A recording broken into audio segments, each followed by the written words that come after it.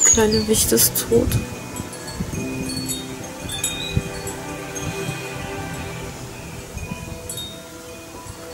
Er konnte seine Beine auch nicht bewegen.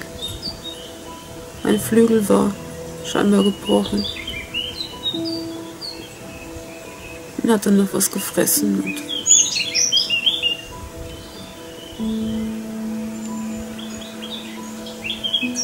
wie wild geflattert. Fliegen geübt. Und ist dann um 16.44 Uhr eingeschlafen.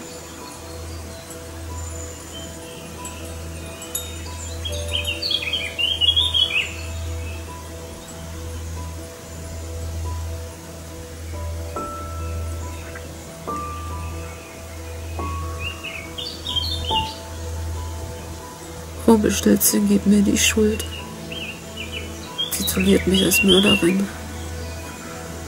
Weil ich alles falsch gemacht habe mit der Fütterung. Und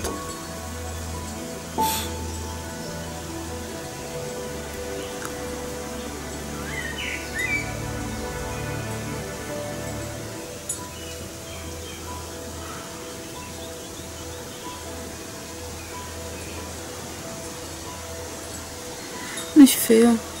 Ich hätte sterben sollen.